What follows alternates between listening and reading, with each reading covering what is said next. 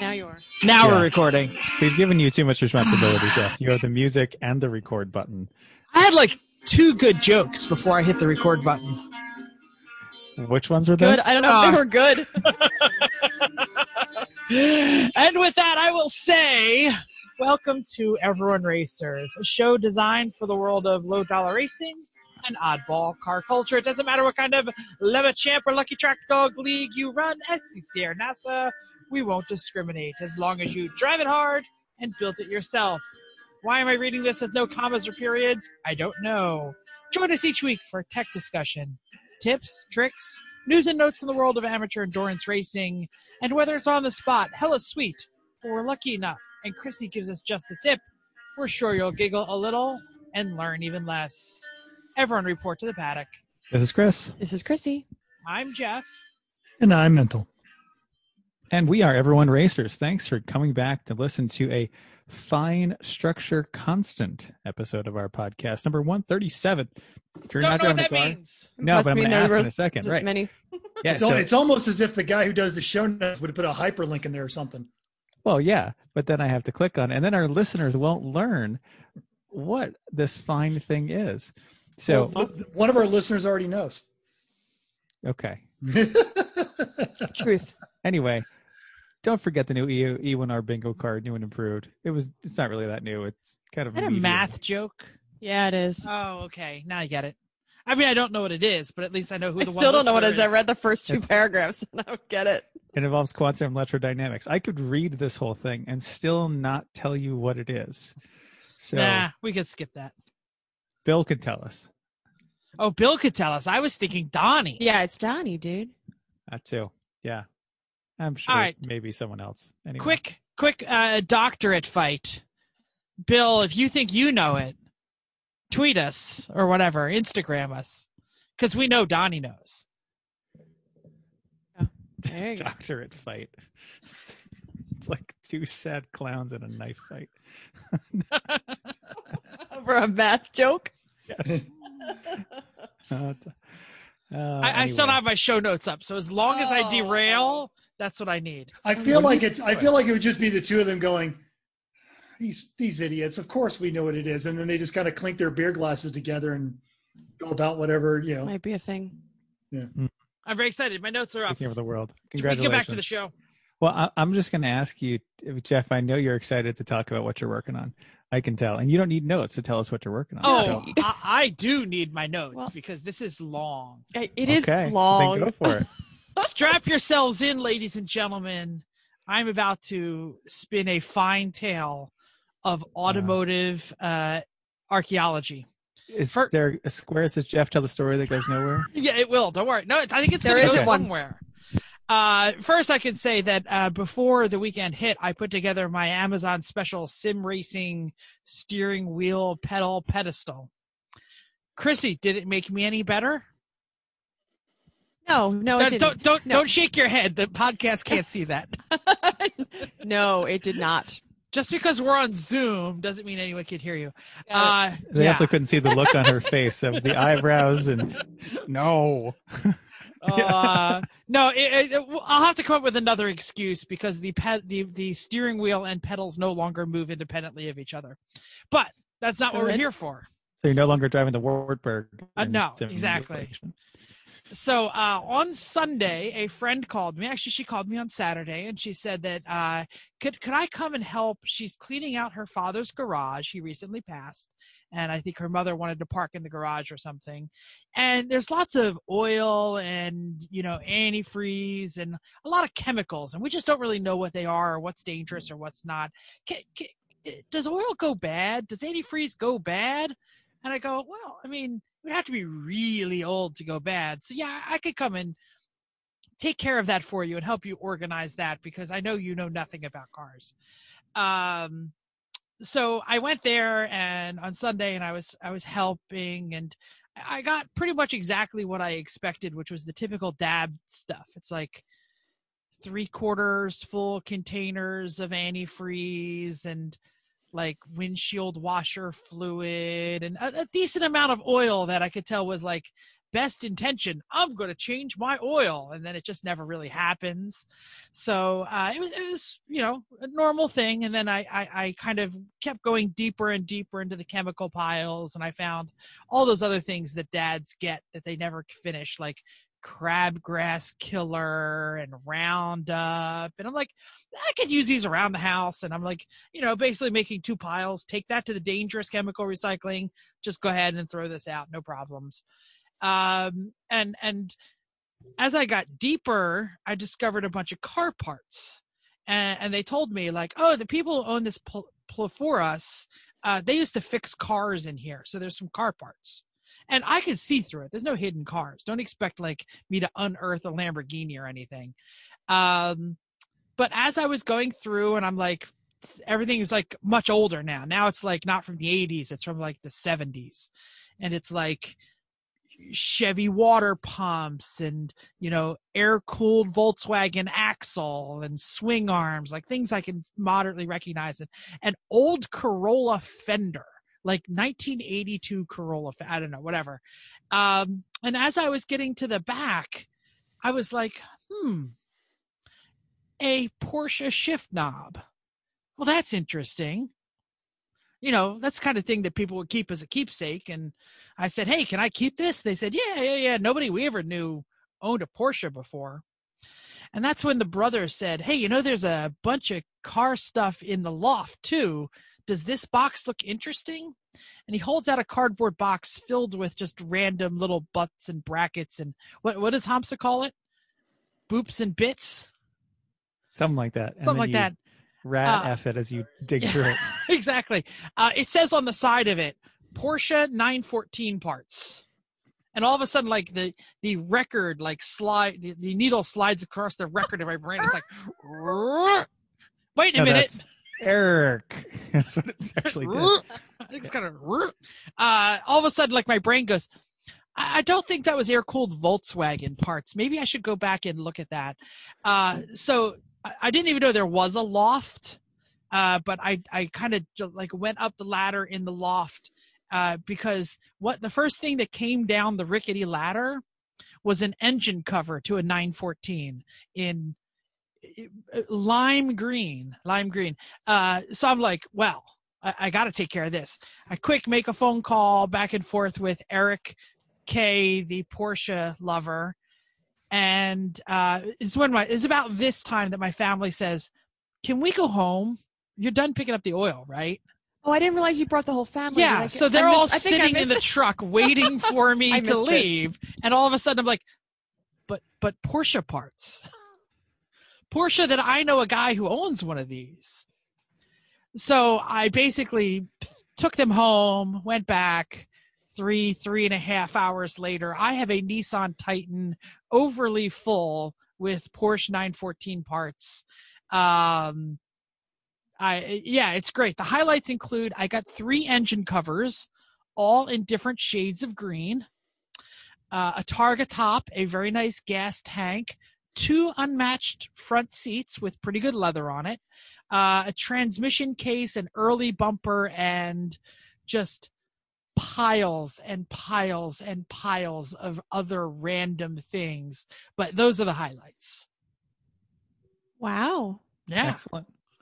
that's It's- a lot. So uh Mental has already spoke up. He wants one of the engine covers for his for his to, to hang behind him. Uh I- I'm definitely going to keep one of the engine covers and maybe clean up one of the seats. Uh but Eric says that there one of the pieces I have is in uh, like an early bumper, chrome bumper, and he says that might actually that and the gas tank might actually be worth like the gas that it's going to cost me to drive him down to Virginia. Wow, Yeah. That's it. Cool. End of story. It's very exciting. That was a long story. Fantastic. It was exciting. It is. Unless you were in the, unless you were in your truck.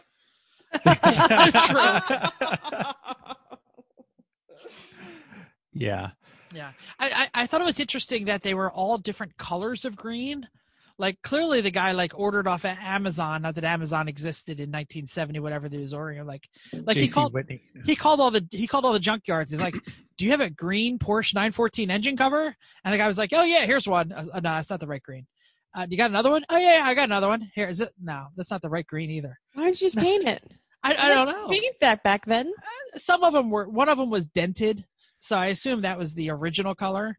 Uh, especially because I found a window frame in the lime green. So Well, it sounds like you had an adventure, and that's very fun. it was the most exciting car related thing that has happened to me in a long time. Because of COVID. I've, what am I else am I doing? Getting the motor out of the Z was pretty exciting. Really. No, You that was frustrating. Oh. You didn't I- I was exclaim like this. You did it. That's good. It wasn't full of discovery and intrigue. It was like fucked up Z motor. Two hours later, it's half out, fucked up Z motor. And then I got it out. It was still a fucked up Z motor. So, you know, Fair enough. I don't know. Uh, Chrissy, what are you working on? I'm sure your story is much more. No, no, it's not. Uh, I spent some time relaxing at the Jersey Shore this weekend uh, for a day. That's that good. fantastic. We had a wonderful uh, overnight there, and then I uh, did a lot of yard work when I came home on Sunday. I have helped with uh, the trailer project, which you'll hear about in a little bit, and preparing to send uh, more masks. Oh, my work! I'm who knows? I don't even know how many thousands of masks, tens of thousands of masks, are going out next week. So yeah, they keep we keep getting getting them, and they keep going out to our field offices. So that's what I'm doing. Same old, same old. Did, did you to the like office? stay at a commercial establishment or with like friends or something? No, we have a family house down there. Oh, So okay. Just went down to open it opened the house for the year basically. I didn't think anything was open.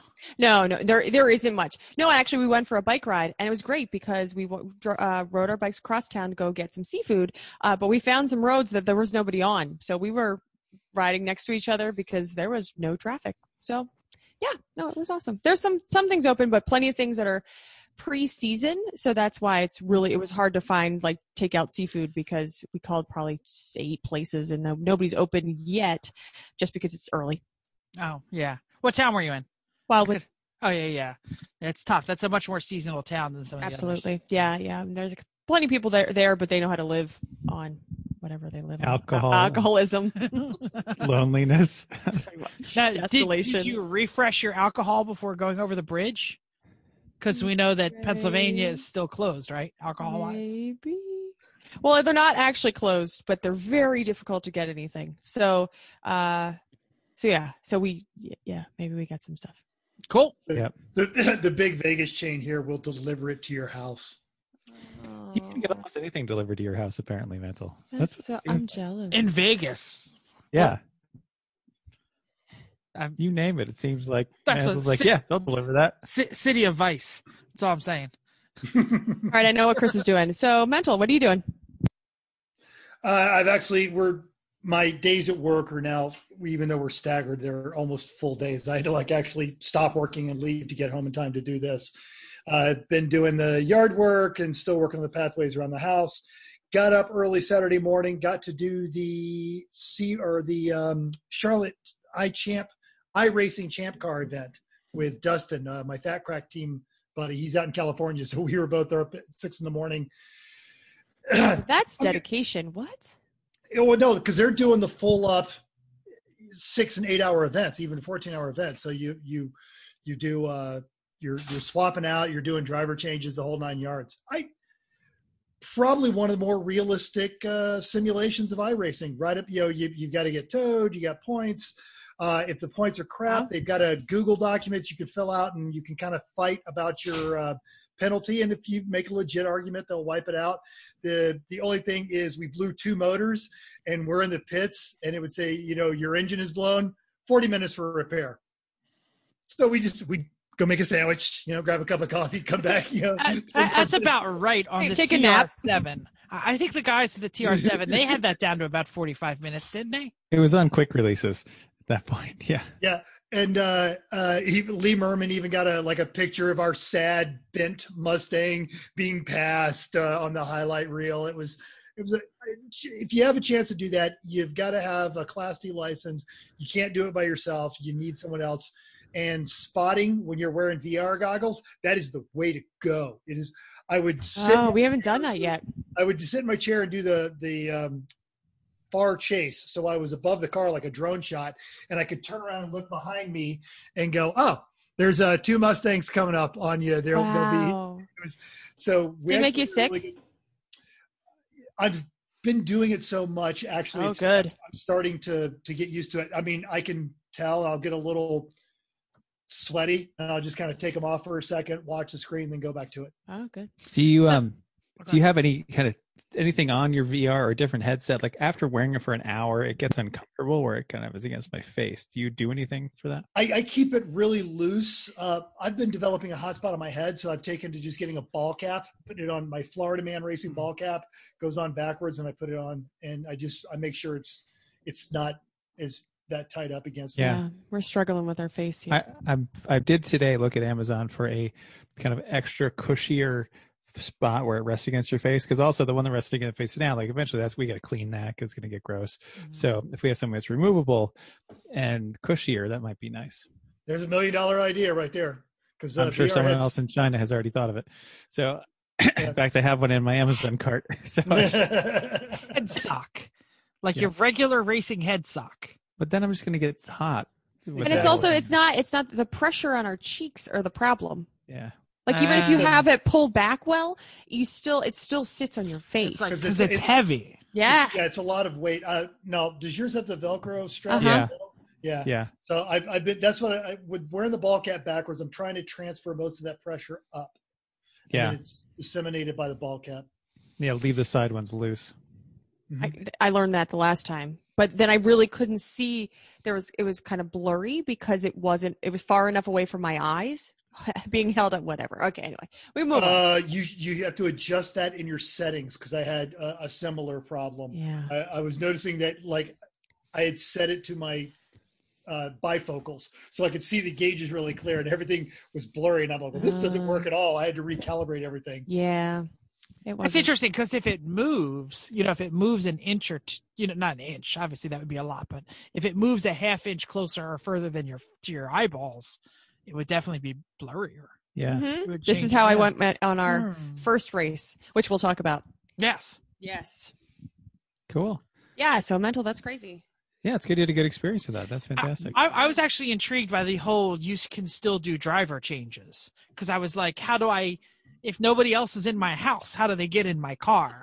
We do driver changes literally from the Like, like, like, the- hey, that's what Chris, get in. yeah, Chris jumps out and you jump in and then you can race. right. Uh, what you're saying, mental, is like you. You told me this. So I'm not. I'm not going to steal your thunder. That you basically, when you escape out in iRacing to get to the like garage screen, other people are on your team can then jump in your car. Yes, and the uh, you can assign more than one person as a crew chief, and the crew chief can remove a driver if it's in the pits. So you know, literally, someone gets you know, no, no, I'm staying in. No, you ain't. You're screwing this race all up. You know. Intriguing. Uh, I'll make No, sure not to have uh, a crew chief if I ever do this because they'll just yank. you me. have to. I'll be like the one. I'll be like one lap. They're like, ah, Wakeman's out. yeah, it's true. like, Well, you, you have to. You have to be in the pits. It's not like this. You know, the Star Trek transporter Can't where in the middle of take the, him out. That it kind of happens every time I crash. um yeah it's um and and not to not the various series have gone their different ways but i think uh champ has gone the way of really trying to simulate that event and it's a it's i like that i had a i had a good time doing it it's completely different than what lemons is doing and i like what lemons is doing but yeah i've give it a shot it's fun Interesting. You mentioned a D. What license? D license? Mhm. C. Yeah, I don't have that. Did you say no C? no no d you just got to get a d D. You Okay, I gotta thought you said get C. a safety rating of above three do four races you're good it's jeff that still might be a challenge Right? I don't. Not gonna happen. let's be honest here well Okay. jeff can just spot for us then good Yeah, we could do that. Except he can't see peripherally or behind you. Therefore, he's Yeah, not exactly. That's so he'll have to he'll have to use the cameras and you know go to the front chase and rear chase and stuff And he'll like see a squirrel and be like, "I gotta go." Hey, there are 914 parts on Facebook Marketplace. we don't even have a 914 doesn't matter Wait, I have one of those in my truck. I could sell that for a dollar. All right. Oh. Chris, you sound like you actually did something. Yeah, I've been working on the trailer more. It's very exciting. I put more. All the insulation is in, and all the taping is done. So Yay! there's that. Most of the walls are back on. It's just the front um, one panel on each side in the front, and the two that are up against the front front bulkhead, and then the this and all the ceiling is still off because the walls have to be on for the ceiling to go on. Um, so that's great. Some of the 110 wiring is run is run. The one to the very back outlet is on, and the one for the middle outlet is on. I just got to put wire up the wires to the front outlet. Um, and yeah, have all the bits. I think so. It's just a matter of putting it together, which is which is nice. Um, I've been enjoying E1R iRacing on Mondays as a participant. That has been great fun. We'll talk about that later. And I've been really enjoying Lemon's iRacing as a spectator with a drink. It's been great. and uh, had a good time spotting for mental during his uh, drunkathon last time. That was That's that was pretty good awesome. Yeah, you did And I'm gonna surprisingly well, this- my friend. I got to Yeah. say. I'm gonna say this sober because I said it while while I was in that race.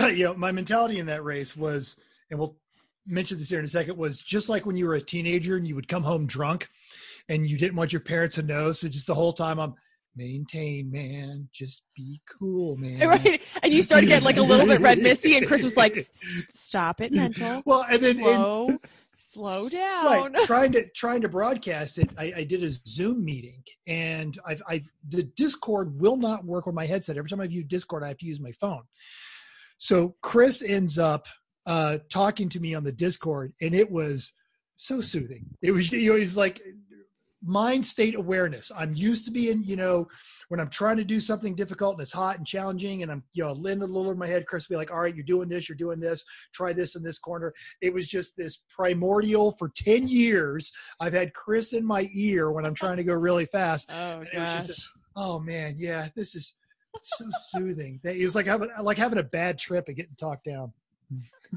Hey, you did a great job. You did it way better than I thought you would possibly do, or I could possibly do, being that hammered. So, yeah, All right. I mean, you were you were keeping it on track. Uh, Your only off was really when uh, you got tullied.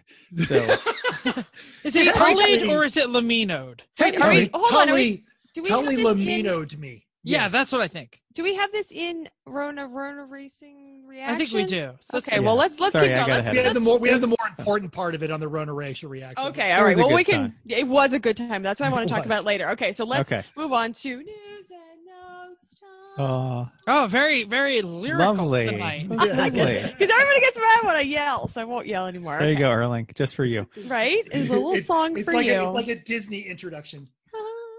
um, okay, as graduating classes uh, across the United States are inventing new means of honoring their achievements, two high schools in Flagler Cl- County, Florida, uh, pu- are putting a local landmark to good use. Flagler County.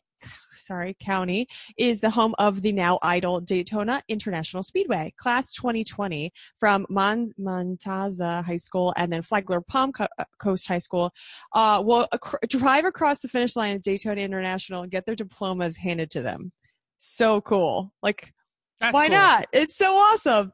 Um, and ceremonies are scheduled to happen May 31st. Hat tip to uh, Dr. Florida Man for the story. Story. Uh, link in our show notes. That's really fun. That's cool. Uh, I saw and I and I thought it wasn't real, so I didn't post it or bring it to the show for notes. But I saw a thing that looked like it might have been real from a uh, now court ordered closed drag strip that basically said. Uh, since we've been closed by the police, we'd like to announce that the Snack Shack will still be open this Friday night for the usual test and tune grow challenge. Uh, because of social distancing, people who order will have to drive up in their car, drive to the track, make their order at the starting line, and pick it up at the finish line. Is it serious? I didn't know if it was serious or was that a joke. Actually, so It actually is true because they were they were open and they were maintaining social distancing because test and tune nights are you know without getting in stands and drinking beer, but the police got them for being a non-essential business, so that's how they they stepped around it. yeah, Good for them. Chrissy, you get it. You Thinking. pull up to the start line, you order a hot dog, and then you. Quarter of a mile. Yes. Yeah. No. I. okay. I just wasn't sure if it was real. Like if you, uh, it sounds like a fun thing, It, but it, sou- it sounded like the track was making a joke. It didn't sound like the track was serious. yeah, but redneck. So True. you Could know be real. It, it, it might as well be real because it sounds like something. All right, l- let's talk real news, real lemons news. Uh, if you paid for a lemons race and have moved your fees to an uncanceled race, check your snail mail. Nick, Jay, and Eric may have sent you something. Uh, everyone, or until they run out, I guess, who moves their fees is receiving patches and a thank you note from Lemon Central. So uh, they have uh, special commemorative patches that have a like a logo on it that looks like a, a- a- it's not the COVID Biohazard. that would be cool, like a biohazard symbol, and it says "In it for the long haul."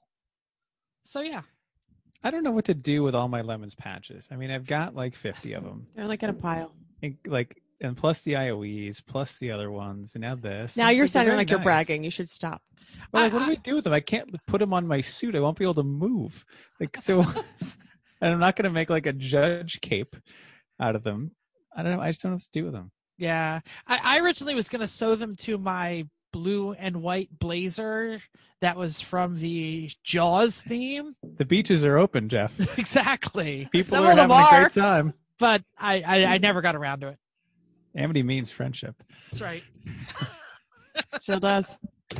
All right, So- racer Rona reaction time. Yeah, Yeah. Do it. All right, no more news. Last Thursday marked the end of the Lemons' first iRacing season. Did we know the season was going to be this short, or did they just like Yeah, call it they the said middle? They said we're just going to try this for a little bit, for like a month, and see what happens. Okay. Yeah. Uh, so changes are promised. They're going to launch season two, which I think they've already really most let most of the cats out of the bag.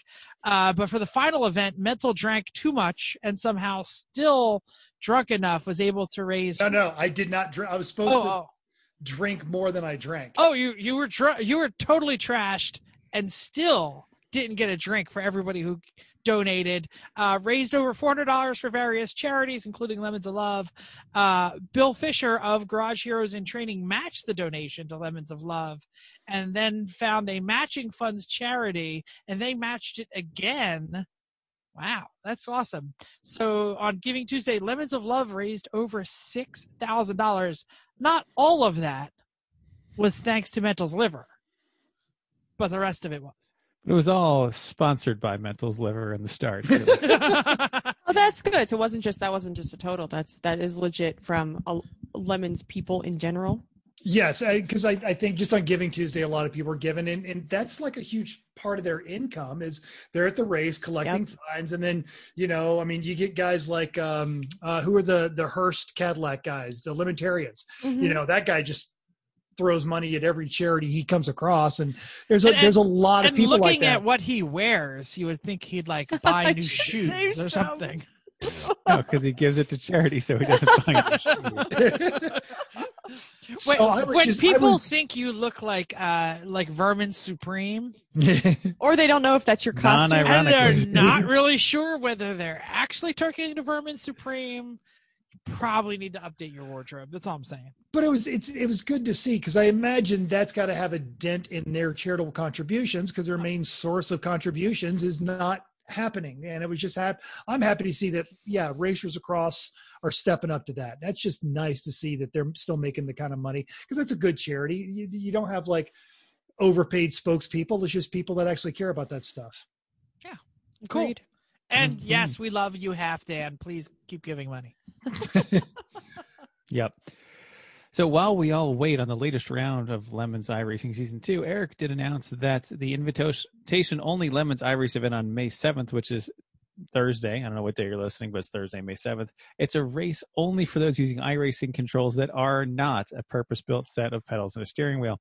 So it's inspired by some of the more creative control inputs being utilized, like Troy F- Fru's wired etch a sketch driving his race car, or he had the Crazy. Dance Dance Revolution pad that he was doing for a while. Um, other entries so far from Eric there's an aircraft sim setup, rudder pedals to steer, throttle for brake and throttle, and air brake to shift. That's great. When do you use the flaps? Um, a real, actual bicycle where you pedal constantly for throttle. Your handbrake is your brake, and you steer by steering the bike with shift levers on the shift handles. Who has time to make these things? I guess if you're I out don't of work, know. These Or people if you don't, don't- have and- jobs. And if you don't I have any guess. money, if you want Yeah. to iRace and you don't have any, No, no, this is to make- costing them money because Yeah. they have iRacing controls. They're just choosing. Yeah. to Ah, build all something right, okay. weird. Like It's Troy, one thing if- I think Troy's pedals actually broke, so that's why he got out the DDR pad. Yeah. Okay. All right. So, hey, that Etch a Sketch, though, apparently there's a $5 Etch a Sketch, an $11 Arduino, two $3 potentiometers. The left knob is brake for left of center and throttle for right of center. The right knob, the right knob is steering. And oh. Troy said that these potentiometers are endless spin, so if it goes past the edge, the input is instantly opposite. So, Oh no! Is it one of those things like it goes off to Like- one side and then comes back the other? Yeah, so if you're Yeah. at full throttle, you're 98, 99, 100% throttle. If you go you're one more zero. click, it's 100% braking. It's the other side. Oh, oh, oh. That's gonna be great. I'm so Yeah. glad I'm watching this one. Oh, Can like you I watch said, it? Is I've it- been having a great time watching these with They the. Stream them on Facebook, On YouTube. Uh, and YouTube. Go- yeah, I'm sorry. Go to their YouTube Facebook. channel. I wasn't sure if and they did all of them. It's always late. Just expect that. And uh, Mhm. Uh, so I'm just thinking back to the days when I was drawing on an etch a sketch. Like, I knew I had to go up. Like, I knew I wanted the cursor to go up, but it would take me like one whole minute to remember if it was this one or this one. Even if I was like constantly drawing, I wanted to change sides. I'd be like, okay, wait, wait, wait. Which one is it? Which one is it? This is Hey, your. it's the- definitely this one. And you then I would turn it, it would go the other way. You have this problem with iRacing. This was your. pe- this is your pedal problem. I'm legit. This is serious. Ah. It's the, it's the same we're, problem. fi- we're finding Jeff's hidden dyslexia. It's, Right? it's terrible. It's not hidden dyslexia. I've been dyslexic since I was 12. It's Oh, a since I was born, but you know, I've been diagnosed dyslexic since 12. Uh, yeah, but I'm serious. Like, I would sit there with the etch a sketch and I'd be like, okay, go left, go left, go left, right. This is you and iRacing. Uh-huh. Go here. This has nothing to do with iRacing. It's, it's the post-it notes on your TV for which is upshift and which is downshift. That's true. Yeah. That's what I'm saying. This is why Yeah. I'm telling you. This. All right. I fixed that. So some other good ones. Someone had a 15-inch laptop with a USB plugged PS4 controller on his kid's IKEA table, painted to look like Road America, along with Legos and toy cars and breakfast. So he's Um, playing at his kid's yep, table. yep. Daddy's using this one now. Um, so you enter the event by emailing virtually slow at 24hourslemons.com, describing your setup, and but pictures and videos, they go a long way. Because if your thing is crazy enough, you need a picture or a video to understand how it works. I, I think the greatest thing, I don't know how many people have watched the replays, but uh, Judge Phil and Eric were obsessed with people driving weird controllers. So they would follow them in the race. And if Yeah. you're using a controller that has, you know, only off and on for left and right, they would go to the cockpit view and watch it go like, "Eh-oh, eh-oh, eh-oh," like they would drive around the turn literally like the steering wheel is at zero 90% zero 90% zero 90% It's even more funny listening to two of them go down a rabbit hole about 80s Soviet area behind the Iron Curtain, uh, you know, atmospheric metal bands. Because sure you know they just oh well then their second album. Uh, Yep. totally all right who's talking about taco tuesday Uh, so the cruelest of fates, as you already know, fell upon us when Taco Tuesday fell on Cinco de Mayo and we were all stuck at home. Uh, it was also Giving Tuesday, and thanks to former guest Cal Denisi from Extreme Experience, uh, I managed to get into a, an iRace. I could list all the names, and it's all people that Jeff's never heard of. He'll say he's never heard of, and then he'll accuse me of being a name dropper. But this was an extensive list of people.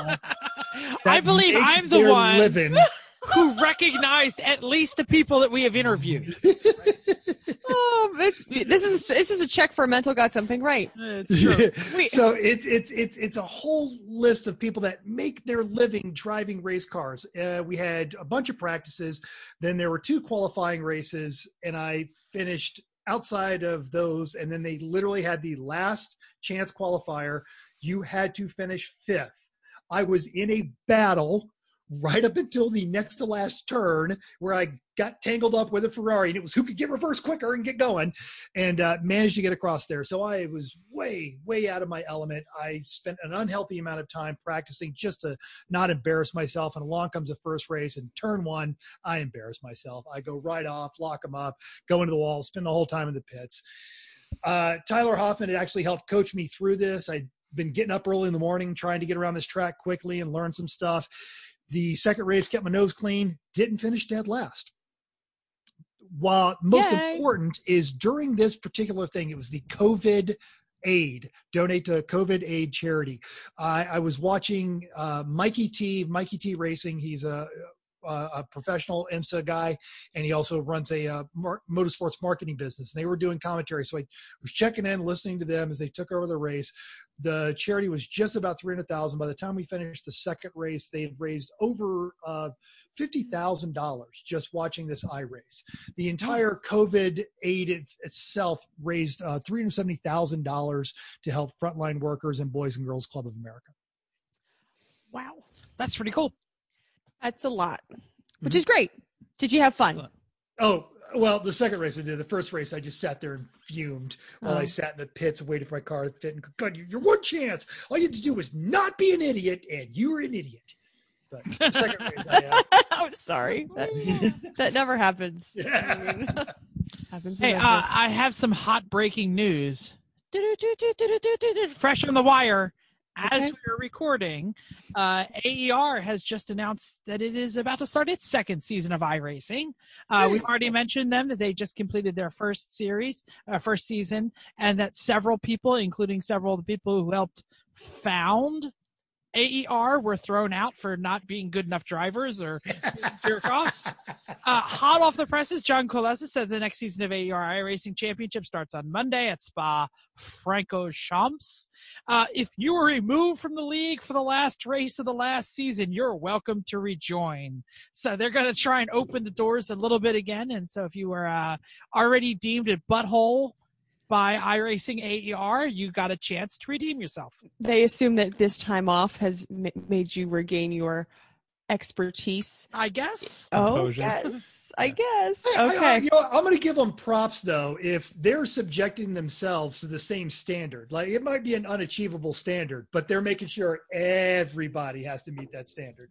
Hey, it's my series, and I'm an idiot, so I'm kicking myself out. Good on them. So consistency. I, I- I have to say that they just have a different attitude and design, and that's why we're glad that AER is there. Because sometimes we want to be serious, and some of us want to not be. So there it is. That's when you can drive with your etch a sketch. Yes, the Guitar Hero was my favorite. The Guitar Hero controller. That's crazy. Okay. Hot off the heels of their previous success, Radwood is holding another virtual car show this May 30th. Watch for details and updates following Radwood on Facebook, Insta, and Twitter. Uh, it happened. Did anybody see it? Oh yeah, Oh, I they looked had at it. awards and everything. They had best costumes, all that stuff. Watch it. They they uh, they're big on Instagram, so watch. Oh. They'll, they'll announce all the awards Insta, on Instagram. Insta, what? Yeah, Insta? Insta.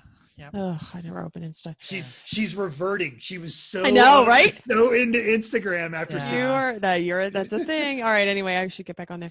That was Um, the weekend I pulled the motor, I think. Or no, I did something with the Z because I was really greasy. I don't- And I, I wanted to post stuff, but my hands were too dirty. So I didn't. car working problems. Uh, all right. So in an email this morning, the Lemons race at Thunderhill for the end of May has been canceled. Uh, so by the time, yeah, right. By the time we finally return back to the track, uh, Ebenar hopes that you have your Tiger King and Murder Hornets. Oh my God. It's like, oh, your themes. Do it. Uh, I hate this thought of these things. Murder hornets? Yeah. like I don't like little bees. I don't like the little little bees. oh, the little bees are the worst. I know they are. You okay, don't see them coming. I just added this. Lastly, uh, we're not racing, but we should we, we wish we could watch some live. If you haven't seen Formula One Drive to Survive, it's awesome. Have you seen it? I haven't watched it yet. Oh my god, it's so good. No, no, don't be sorry. No, no, we're watching. It's it's really good cinematography, engaging information. It's more than just racing, but it has racing too. Really, really good. If you haven't seen it, there's two seasons. I'm heard. I'm hearing wonderful stuff about it, and I'm still watching Tiger King. It's our workout show. It's been great. Like it keeps I- your inner keeps you like that half hour goes by. Yeah, I just, and- I uh, just finished Tiger King on my workout show. is your brain liquid? Yes, I think I can it see. I think I can see great- through your head. It wasn't as great air. as everybody said, uh, and I'm very excited to get back because I'm doing Westworld on HBO next. So Okay, well, if you want to watch some racing, You can turn on any episode because you don't really need to follow the story, but um, start at the beginning. I highly suggest it. All right, E1R iRace recap. Haven't we been talking about iRacing the whole time? Yes, because there is no real racing. so we do. Uh, so uh, we did uh, figure eights at Irwindale this weekend or this Monday. Uh, for those of you who don't know, we do our own invitational slash invite yourself. Uh, so sorry, Eric, we used race controls. Uh, even though my greatly improved, somewhat bolted down system was ready, I still don't have peripheral vision. So I was a total menace on the figure eight because you kind of need to look left and look right to know how to cross the center. we laughed so much. It was pretty funny. It My- was really funny. I nearly fell out of my chair at some point. Yes, but there was a huge battle between whoever didn't crash as much, and it really came down to mental amino, and it, it really did become a. Um, we were pitting each other. We was if you if you ran through the the uh, figure eight part at the wrong time, there would be just pileups. The spotter couldn't keep up fast enough to be able to like car on your left, car on your right, t- car slow, car High, stops, Car high. uh, Low, car high, low. right? And you're like, is it dead? Is it Jeff? It is didn't it matter. Didn't matter. By the way, if you're running a figure eight and you have no peripheral vision, you have just as much chance of getting through than if you do have it. I don't agree. Like- I had plenty of times where literally, I've, oh, Chris is probably watching me. I moved up in my seat. I looked to the side before I went through the before the through because I could. I have peripheral vision, so I can see. So I would slow down, or I would be gassing, look over here to see who's coming. I would either let off, could break if I thought that they were going to come through. I mean, that's how. I think that's how you win. There's Yeah, or- plenty of times I went through and I would see like a flash of a car like right in front of me or right behind me. Oh me. yes, there's that, That happened I definitely would have not gone through if I knew that car was coming. pretty much. Now, How goggles long are the goggles are the way to go because you could you could time like as you hit the apex of the turn to enter the center part of the I was eight, looking. you, you look up and all right, um, I'm gonna hold off on that throttle for just Absolutely. a second. And I think that's why Lamino did so well because he's got three screens. Three Yes. screens. Uh, He yeah, said I he mean, never I could used them as much ever Yes. as I did that one night. It was, a lot. Oh, I got to get two more screens. Just get You- good the one you have first. Yeah. How Yeah, about you- that? Oh, but, uh, I have to say this this race because I raced this one and then Chris took over. Uh, I was so sick because I kept getting hit. Every time your Oh. your body would jostle, right? Or you would think you're jostling, and you're sitting in your seat. That's the stuff that makes me sick. So if you spin, I, I expect to be spinning, but I'm sitting in my chair. So for how long we go? Thirty minutes? Forty minutes? It was It about was- that, yeah. It was 40 minutes It because was like, so we had to long. go get fuel. Yeah. so after 40 minutes of crashing every other time spinning out i would i was like i'm gonna barf i was i was so sick It was the most fun race I've ever had in Totally. iRacing. Totally. totally And I can say that, you know, when for about the spinning thing, if you get if you hit something or get hit in an regular iRace, you're generally both going in the same direction, unless I'm hitting you. Um but in this, you're hit like totally broadside, or so at one point somebody's going the wrong direction. I mean, it was just crazy, crazy. Well, I didn't like the second race as much, but I have a feeling that Eric or that uh, Chris and and Mental did. Uh, we did a dirt oval at the fake, not real Lanier. track. Was it Lanier- Lanier? I thought we did it at USA. Oh, I was in Georgia. Lake, Oh. Lake Lanier, right across the street from Road Atlanta. So okay, so it wasn't linear. Uh, we did. We first tried with Beetles and stadium trucks. the Rallycross Beetles. The they Rallycross love that Beetles. turbo. They were fantastic. They were so much fun, and then they all ran out of gas because you can't fuel them because they don't expect you to run long races in it. So we started again, and we all did stadium trucks, and I could not get that thing to go around that circle. To Mental was the pro. He Mental had was good. His redneck roots were ha- you showing. He had a V8 and a truck and a dirt track, and he Uh, was just hanging that thing out. It was Who, great. who ended up winning? Was it Alex or was it Dave? Uh, I th- I think Dave may have gotten him, or like if, if, if it was Alex, they were. They were seven Yeah. laps above And- everybody else. and Dave deliberately pulled himself to the back of the pack to make himself go through the pack. Because he's that kind of guy. right Yeah. Yeah, it's it's that was once you kind of got it up on the cam and on the high line there and got the rhythm to carry the drift so you could do consistent like low 19s and i i get it every once in a while like mental, you and i ran a few laps just right ne- nose to tail in which the drifts were perfectly like next to each other Oh yeah, we would have been right at grid life. We'd have been like, oh, yeah. you know, Yeah. Awesome. I, I And- did that once with and then I- Mental in the Beetle, but in the stadium truck, I had no abilities. yeah and then i rolled it and then rolled it again and rolled it again We kept going by you, going, Yeah. Chris, you're on your roof. You know that? yeah. Chris, you need you need to get hit. You need to get back on. little Little help, help, guys. little Little help. Uh, iRacing is fun if you're screwing around. so again, you guys heard how much fun we have. Get a hold of us on any of our social media. Uh, what what are we doing this Monday? Do we have an idea? We don't. We try and do it. Uh, we try and do at least one race that is tune up for the Lemons race. So we They're try and do the same track. They're going to Laguna. The the regular Lemons race is not part of their season, but they're doing Laguna tomorrow. Well, Tomorrow, we would be what do we doing it need for next- the week yeah. after. So Yeah, if they so- announce the race, we will mimic that race. If they don't announce the race, we'll do something fun. Well, the- right? the, next the next ones they have coming up are Thursday the sets tomorrow. is- That's the Gladiator race. Um, Tuesday the twelfth they're doing Trash Racing Tuesdays at TBD, so we don't know. Thursday is at Charlotte Roval. That's their normal Thursday sprints. So we could run Charlotte. we could run Never Charlotte. Yeah. Absolutely. We'll run Charlotte. We'll we'll, we'll probably run uh, the. I did the lemons practice last night, and all it was stadium trucks and dirt stalkers, and you couldn't modify any of them. And Excellent. at 27 miles an hour, in exiting pit lane, I put the dirt stalker on its roof. Nice. It rolled. Yeah, the dirt stalkers have become a problem if you're not allowed to change the suspension. Yeah. Oh yeah. I managed But to get. I, I settled into a lap and got a lap around it, but yeah, it's challenging. Let- oh. If you want to race with us, email us, text us. We'll give you the password. Four letters long. It helps you slow down your race car. You figure it out. When when do we do this race, Jeff? When can Uh, Mondays, every Monday, 9 p.m. Eastern, because that's where most of us live. That's it. Yep. But we have a few people in the West, and that's why we made it so late. Yeah. So. Listener feedback time. David Eccles said we had a great live episode last week, and Giant Dave also expressed his enjoyment, saying, "Great episode indeed." Hashtag hobo living. Hashtag for life. I'm just gonna add a yo on there.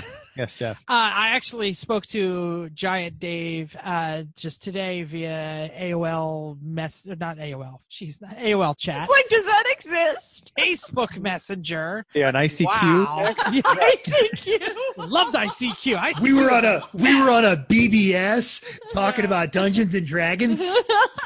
ICQ.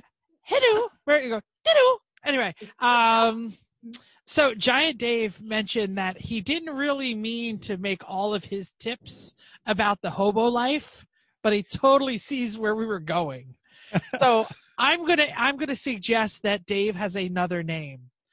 We call him Transient Gentleman Dave. Transient gentleman. Uh, say hobo Dave has a has a you know rolls off the tongue easy, but transient gentleman Dave. It's a little more accurate because Yeah, Dave, is a- yeah. Dave is a complex character, and if you Yeah. guys aren't following Caddy Wrecker on Instagram, you are missing some Yeah. good recipes because that dude can cook. Yeah, he he's basically deciding whether he's going to live the rest of his life on the road right now or still continue making condo payments. And uh it, his world was work from home before work from home became cool. So as long as you have an internet connection, why not live on the road? Yeah, Well, and, and, and I do like I like you included gentleman because that does describe him. yeah, totally. yeah.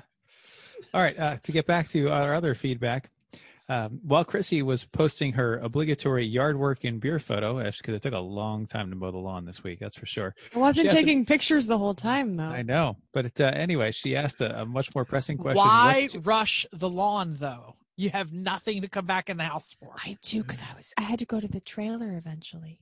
Oh, Oh. uh-huh. okay. Yep. Anyway, instead of what you're working on, because no one's really doing anything, it's what you're drinking. So she- even though right after she took the picture, she promptly knocked her beer over. So that was a. So Dr. Florida Man had an old St. Pete rum with some pineapple juice. That sounds terrible, and I That's like rum. very Florida. I have Yeah, I to try guess. that. Uh, Randy Bish, a discerning imbiber, mentioned it's approaching 80 degrees in Detroit, so the mojito is about to make an appearance. Uh, there you go, excellent. Our mint plant is looking looking bushy these days. We got to start picking at it. Jackie K said she was packing and enjoying a ha- hazy days. That's good. Corey D was having a silver Coors Light because he feels like he deserves punishment, apparently, or that might explain his obsession with Malaysia GM stuff. Um, Sean R, a friend of mine from work, had a schmooze passion guava, but warned the heartburn later is going to be Stuff was thick. It Yeah. was, he had it in a cup and it was thick. It takes Nice. dedication to drink guava juice. Yeah, well, that yeah, that's why you have one. and that's it. Yeah. Uh, Luke A is drinking Mountain Dew as usual. Hopefully, there were some Doritos following that up. And Fortnite. Yep. And Matt F started with water, but finished with Weyerbacher Blithering, Idiot- Blithering Idiot Red Wine Ale. That's good. And if hey, if you're ever up near in northeastern Pennsylvania, you can stop by Weyerbacher Brewery. Chrissy and I did one day. It was good. There's a taco place about two miles away too that was excellent. Um, I, uh, I we we need to update the bingo card and add tacos. There's a lot of taco talk recently. Well, it's because it was Taco Tuesday. we And talk tacos a lot. Who doesn't like tacos? I, I, I have a agree. taco shirt on. underneath. Terrorists. All right. Uh, we usually close this section with a hello to my mom, uh, better known as Chrissy's mom. But we will uh, we will continue and wish happy birthdays belated now to the better part of Garage Heroes in Training, Vicky Fisher, another great pit mom. Woo, woo. Happy birthday. Happy Hi, birthday. Chrissy's mom. Main topic time.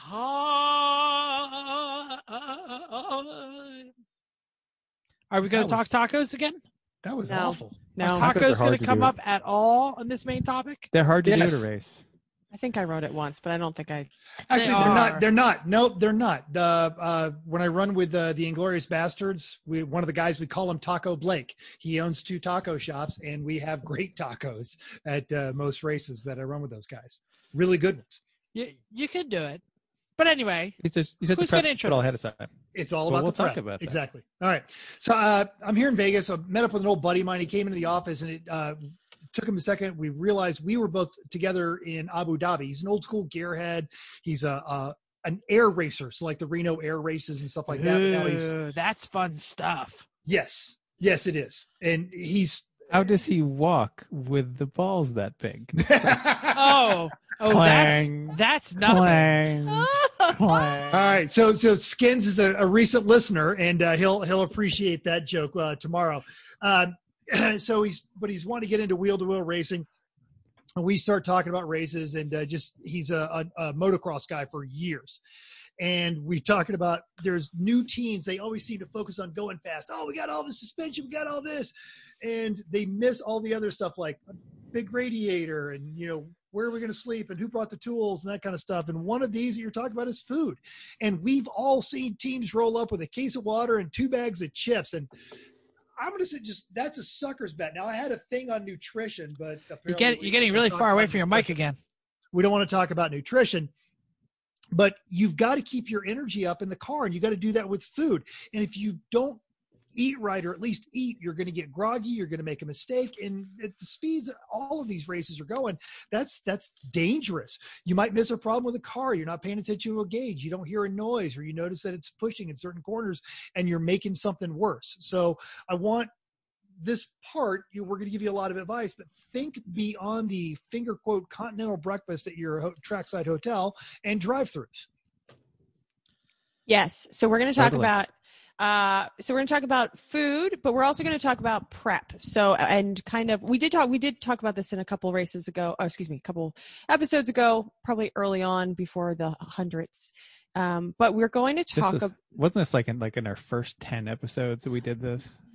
We did. Something It was, Maybe that? so. Yeah. so hopefully maybe you didn't listen to that one or you don't remember or you're really trying to in, you're interested in upping your pit game this time that's what we're going to talk about Please don't go back and listen to episode.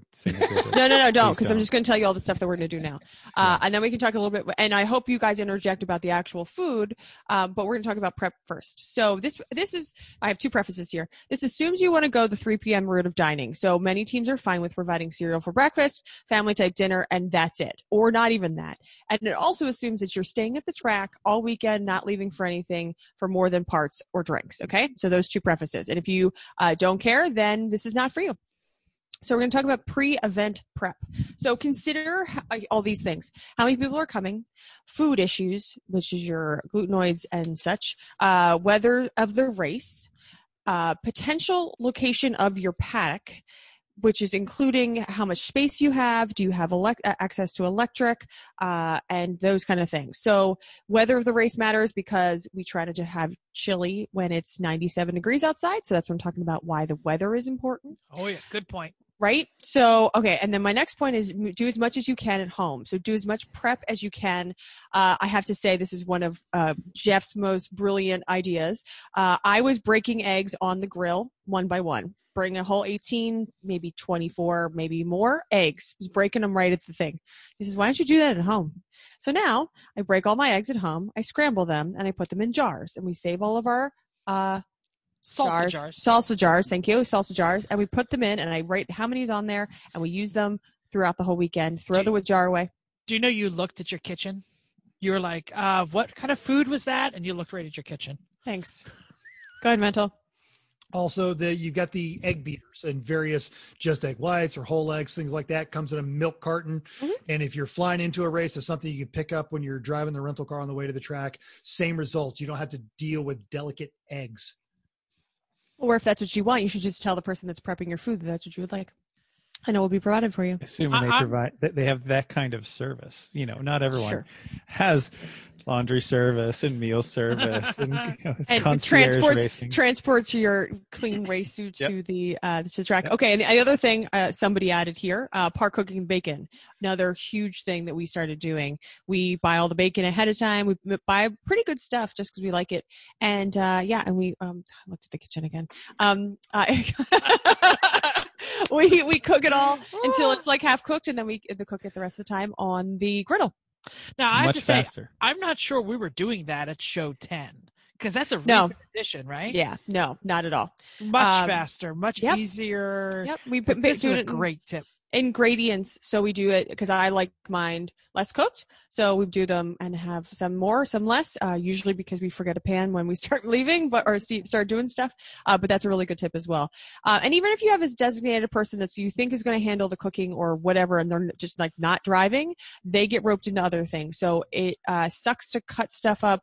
You probably can't wash your hands and food at the track and so just do it as much as you can at home and uh, this also may depend what you're going to cook depends on what you have what items you have to cook it with. So we uh, used to just have a cooktop uh, i think we now i think greg's grill has the the grill to go on top. So depends on how you want to do it. If you don't have a griddle then you're going to have to figure out how to how to cook your cook your breakfast that way uh, in a large crock pot. And and I want to say that like the flat top, you know, it's made by Blackstone. It's a you know, it, so much easier than having pots and pans that you need to to wash, and and it folds up. And it folds up. Mm-hmm. Yeah, the, the flat top in general is like the, the Swiss Army knife of like do it all cook at the track things because you can make your eggs on the griddle. You can put a pot of water on it to boil. It'll still boil. It takes a little longer. You can cook your burgers on it. You can cook everything on it, and then it's not terrible to clean up like the like the grill top, what everything drips through, and then you got to deal with all that stuff later.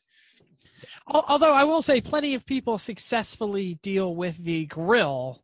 You know, they just kind of like stand it in the back of the pickup truck, a la uh, uh, "Sorry for Party." yeah right and then they just cook every everything has to be grill worthy. Then Right. you just have to design your menu around it. Go ahead, Mental. I'm sorry. On a smaller scale, if you don't have that big of a team, uh, you can also they have those plug-in griddles, and it's uh, the same effect. It's a 110 volt plug-in griddle, and you can uh, run those, and those will fit in you know the trunk of your car. True. hmm They got that George Foreman from your parents' basement, and or your Yes. pani- the the KitchenAid panini maker that your family member bought you and you don't use it because you don't make paninis all the time, but it's a flat Nope. it's a flat grill if griddle if you need to. Anyway, Throw that throw that in the Rubbermaid track container. Yep. Well, we're getting there. Okay. So we're going to talk about the food to actually have the track. So I'm just going to let you guys interject wherever. Uh, we'll talk about each part. So basically, you have to figure out how many meals you are going to have to prepare. Uh, one tip is that if you're going to arrive on Thursday and you're not really sure when your friends are going to arrive, just consider takeout. So we uh, typically stop at a pizza place, get a couple pizzas, and then we eat, uh, people eat it as they get there, um, and we just have some food around. So that's usually typically what we do on Thursday. But just make sure you plan on. Um, nope, you're you, whoever's typing is above the uh, where we're where we're talking. Um, so we are, t- and I already wrote it. It's it's down there. Just wait, just wait a second. You don't read the notes. Um, okay, so so breakfast. Let's talk breakfast. Yeah, we're building the plane as we're flying it here tonight. If you just read the notes, you would know. Just ignore me and keep going. Okay, breakfast. Uh, behind the curtain. we we have uh we basically have a thing called uh, we have the best pancakes in the whole world uh, and with assorted meats uh, and some eggs for the glutenoids for two of the days of three breakfasts. Uh, and the other one we usually have a breakfast casserole for saturday morning because it ends up being crazy at the start of the race. Everybody's running around. It's easy to be able to walk away with a bowl of stuff that you don't have to worry about getting all the different parts. It stays warm. All that good stuff. Um, breakfast. Well, Breakfast and while you're was- while you're going through that, so while you're thinking about this, think about because you're talking about planning your meals, know your teammates, know your nutrition. It's going to break down into we. I'm not doing the slim good body food pyramid here, but think about it in terms of proteins, carbs, and then uh, the you know your vitamins and vegetables and things like that. And these, even if you're not a if you're a carb averse person, you might want to think about actually loading up on some carbs because where carbs turn into a problem is when you have a very sedentary lifestyle and if you're doing a race weekend even half right it's not sedentary you're hopping all weekend and you need to keep your energy up Carbs are good if you're moving and working out, Mhm. as long as you get the right kind of carbs that you can actually ingest. Unlike you know and that's- that's uh, those that- glutenoids that- out there who can't have all Yeah. those kinds of carbs. and I, I i back off a lot of wheat stuff but that breakfast casserole is the bomb you There's get no wheat in it. your- okay there you go that is a that is a fantastic way just to get some good ready energy it's going to carry you through the whole day i love that thing yeah I'll I'll, you- I'll, I'll go back after everyone's had like their helping, and I know that everyone's done, and I'll even eat like the crusty bits. that are in Scrape the crusty corners. bits. Lots Oh, of hot sauce. here's the here's the quick recipe for it in case you're all hungry and want to know and or you want to make it uh, make it on friday night like you make it in a couple days and then cook it on low all night and it'll be ready for your family on saturday morning. So you could do that and not have to cook on saturday morning. Anyway it is uh, frozen hash browns.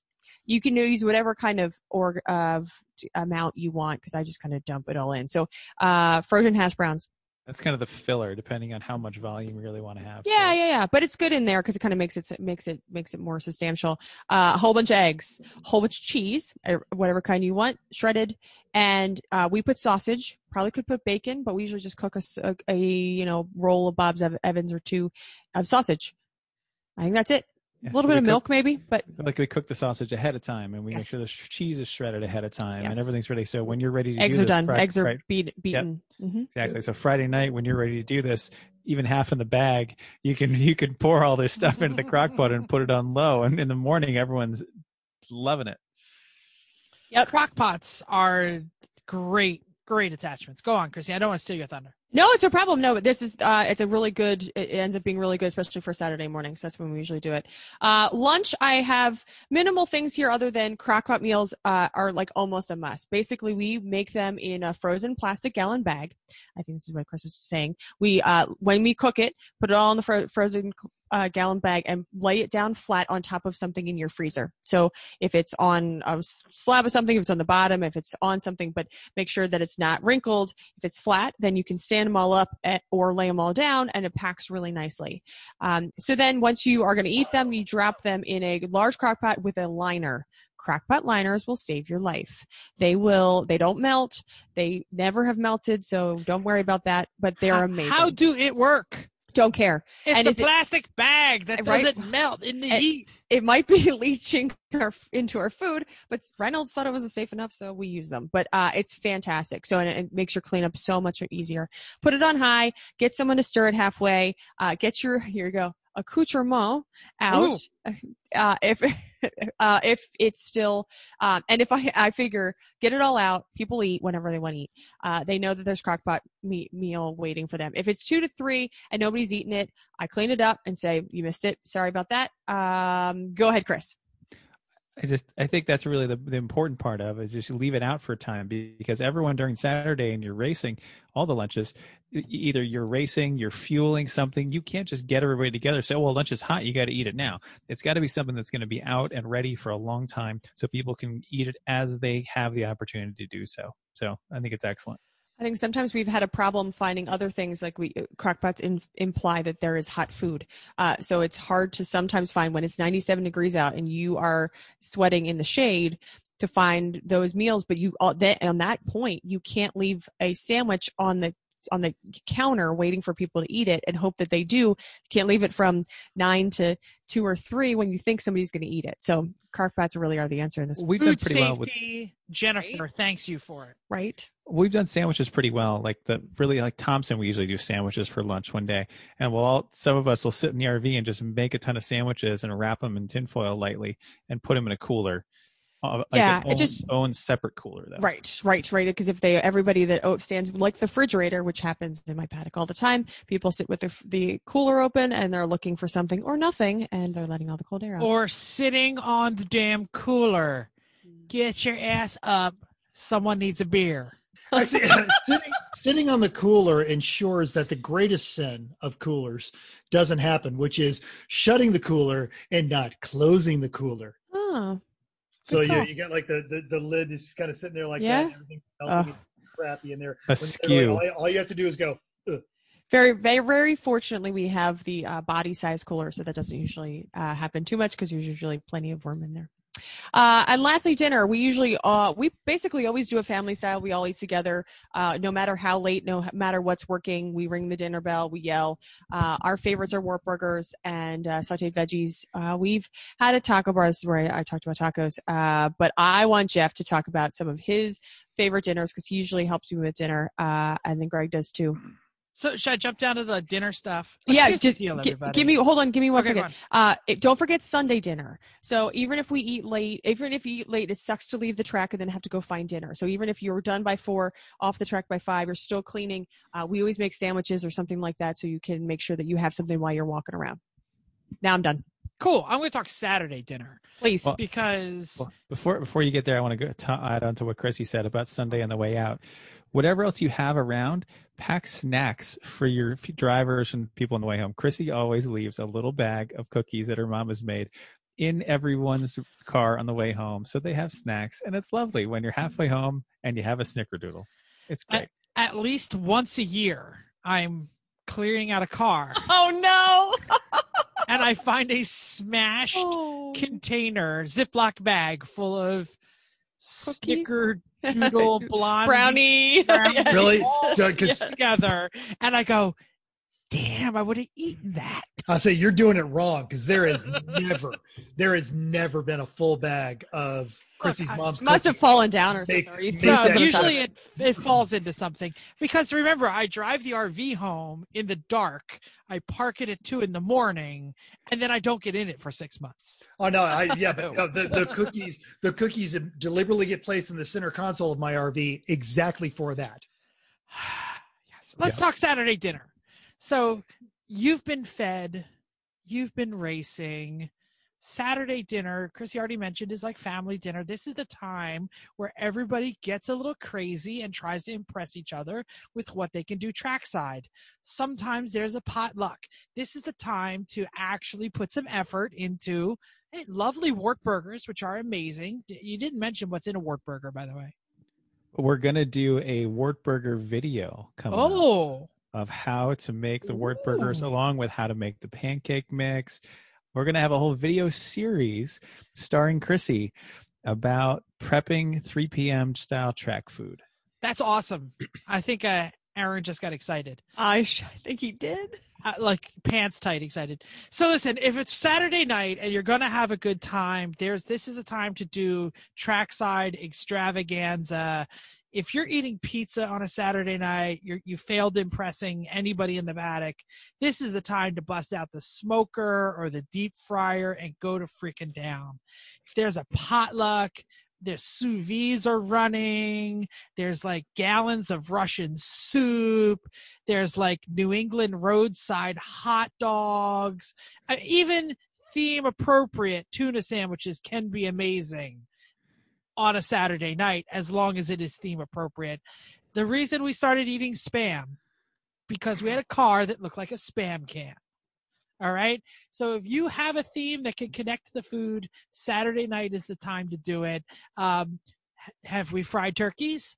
Oh, hell yeah, we have. Have we fried everything else after the turkeys? When you have a pot of hot oil at the side of the track, why are you not bringing like eight bags of frozen French Oh, fries? Oh my gosh. I can like Sweet Tots, potato man. French fries. And they're the the tots. And they're just awesome. And they, they Funnel they taste, cakes. Yeah. Funnel cakes. And they all taste a little like turkey, which is Eh. only a benefit.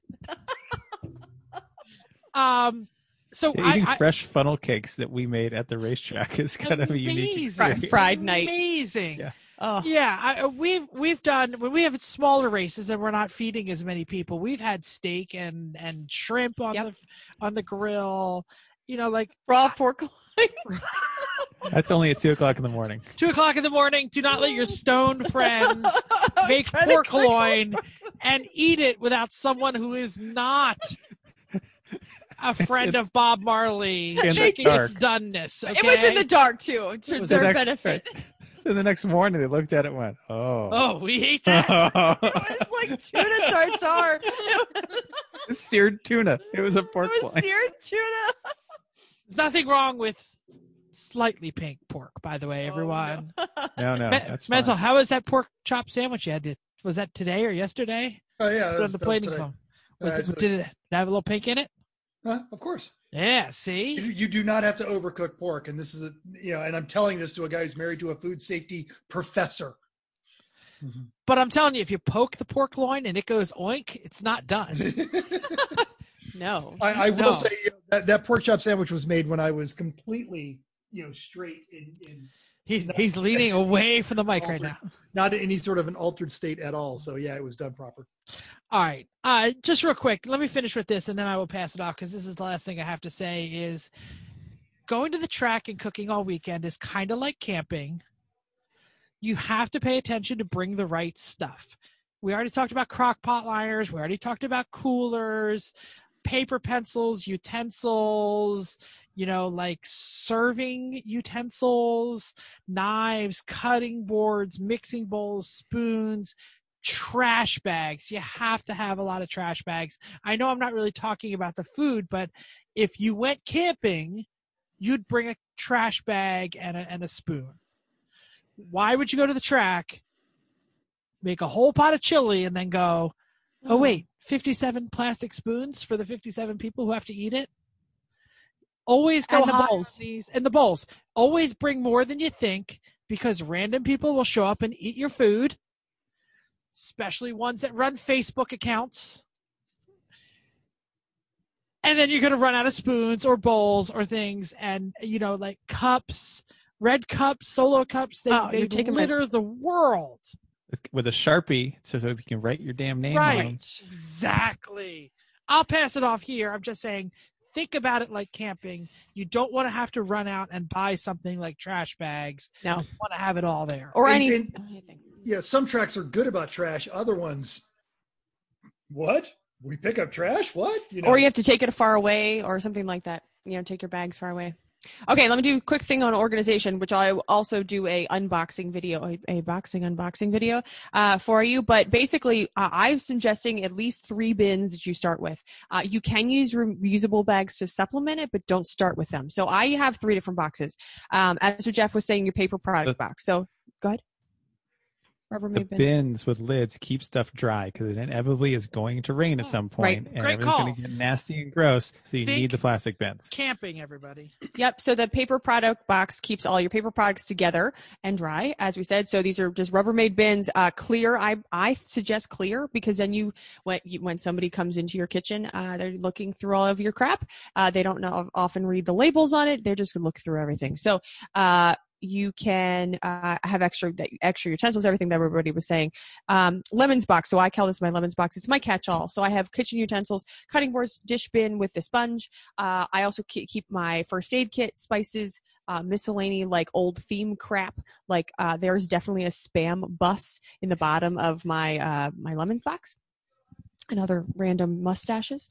Uh, and then I have my food box, so I end up with the, the the it gets filled with the food that's just for the weekend. So it's jars of sauce, cans of spam, chips, buns, sodas, that kind of stuff, and it keeps it all together. And then once you fill those boxes and still have leftover stuff, then put them in reusable bags. But at least it's nice to be able to pack them th- this way, and then uh, everybody knows where all this stuff is. Do they still dig through all the bins trying Absolutely. to find stuff All the time.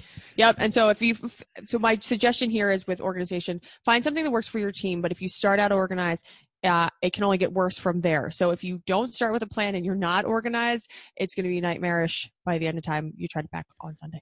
Your, your panic will look like Sputniks. I was going to say that, but I was trying to be from a name, name, nameless. We I think know. they own it. They know. it's fine. I mean, you're not starting by taking your five gallon bucket of stuff and just dumping it on the ground around wherever you happen to stand. So that's a good start. Anyway, um, Jeff, you kind of went through all the accessories we had listed on here. So I think we're good there. I'm going to talk about drinks first because you need to hydrate, like Mental talked about, and like you always hear Jay say, you got to hydrate. Well, the people that bring a case of water and a case of Gatorade, you know what happens about 15 minutes after everyone gets the track is there are half drunk waters littering your paddock space and garage and car, and no one knows which one's theirs. And now they're all hot because they're sitting out in the sun and no one wants to drink them. And now you've got all this waste of bottles, waste of water, waste of everything. It's a terrible way to do it. So instead, bring jugs. Those big orange Rubbermaid jugs that they, you know, like it's sports games or on the back of construction trucks. Bring those. We bring two of them, sometimes three. Usually with two, though, one full of water and one we make for Gatorade with the Gatorade powder. So we've got several five gallon uh, water jugs. And we fill them up here at home with our tap water because our tap water is pretty good here. Um, and, and free. yeah, and free. So we've got, I think, five or I think we have six of those jugs. So I know we've brought upwards of 30 gallons of water to a summer race and gone through most At of it. yeah. Yeah.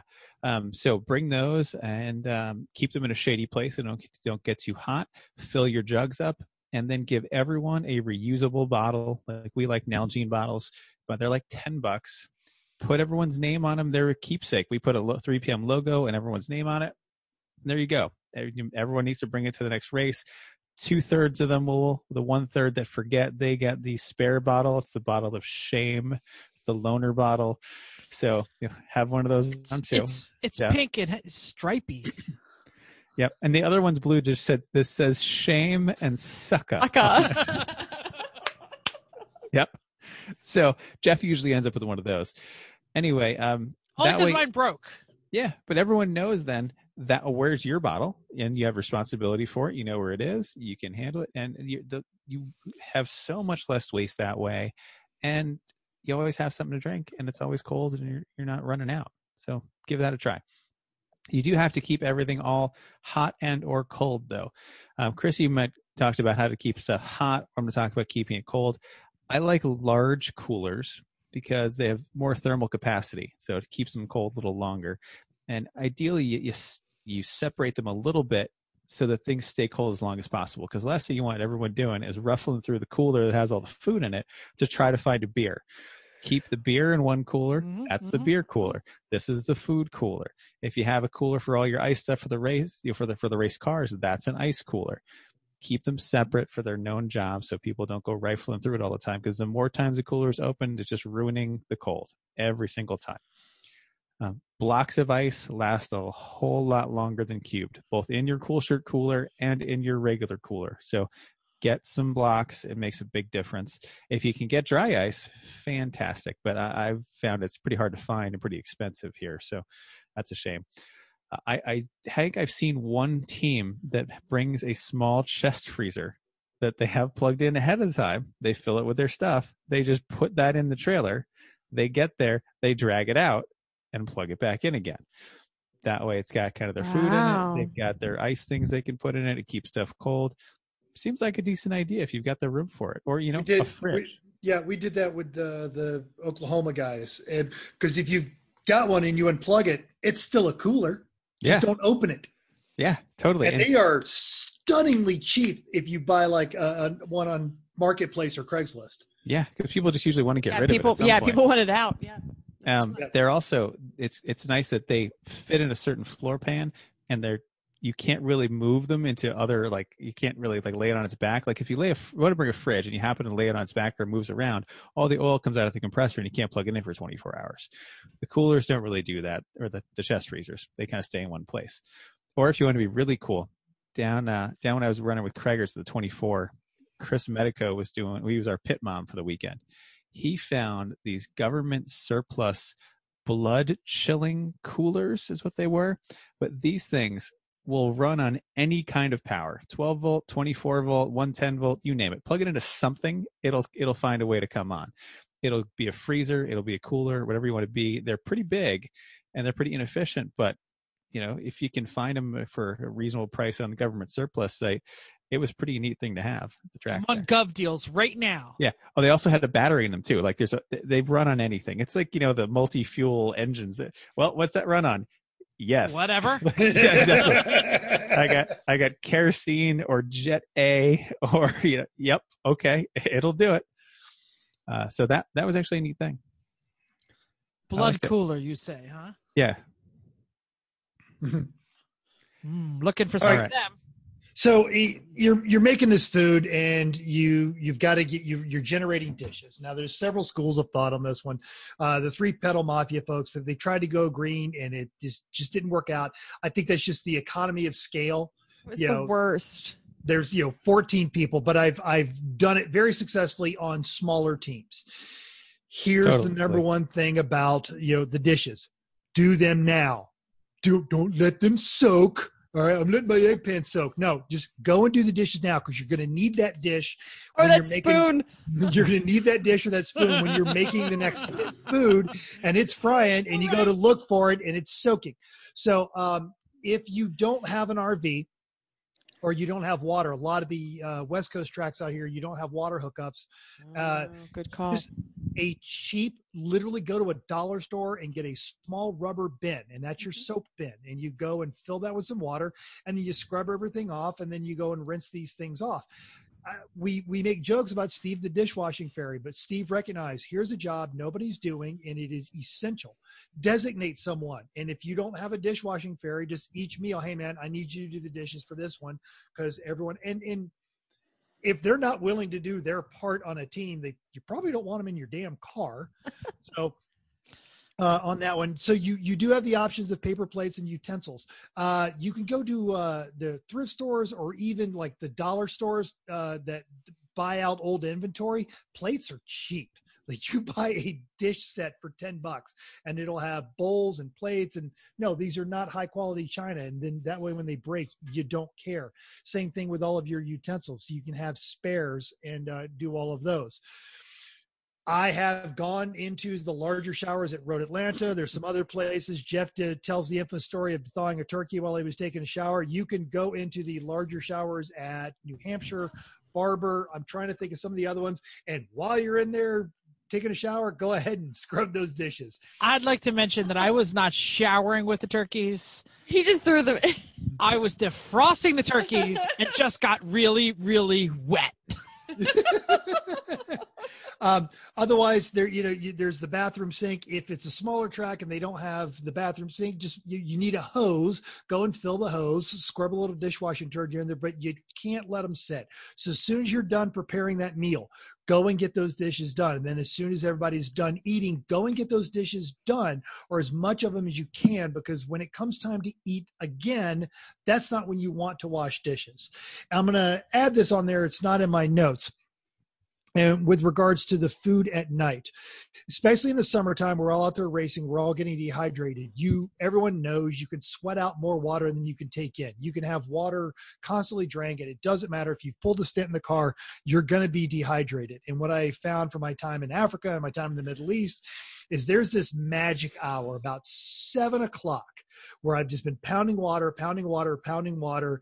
The sun has gone down it's starting to cool off and i finally go and have that one i got to go to the bathroom because i've drank too much water i emerge from that immediately starving because once my body is hydrated then it remembers oh you're also at a calorie deficit so you were hungry no and that's where those crock pots really come in handy because if you're not in sync with the dinner bell and then you find your you ate just a little bit and you find yourself starving after you're hydrated that really works and I also like the hors d'oeuvres that we have. There's always Yeah. hors d'oeuvres, chips and dip or Well, charcuterie. I, I think the chips dip charcuterie slash whatever it is that we're doing, the, the, the whatever that magical multi-layer 27,000 layer dip you have is amazing. Or, or is that like a Sam's Club deal? Costco. Costco. Uh, you're you're not eating on time. And there are some people who are like at six o'clock, their stomach is like, feed me now. But we just got off track and we got to change those tires or, you know, whatever. Still, you know, the axle just came back from the parts run and, and people need to wait until it's ready. And that those things help. Just think about your teammates Yeah. think about the crazy world of life at the track and just know that you're going to have to be really flexible with meal times. And those hors d'oeuvres also help because people usually start drinking around that time. So having something in their stomach helps with that. Yeah. Oh.